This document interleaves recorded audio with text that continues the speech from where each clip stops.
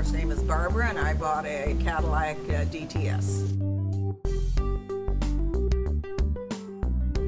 Uh, James Skolaski. Well, absolutely excellent. This is the second time that I purchased from him, and, and I've had an excellent experience both times. I have purchased from other salesmen here also, and that's been excellent. So this is probably the third car from third used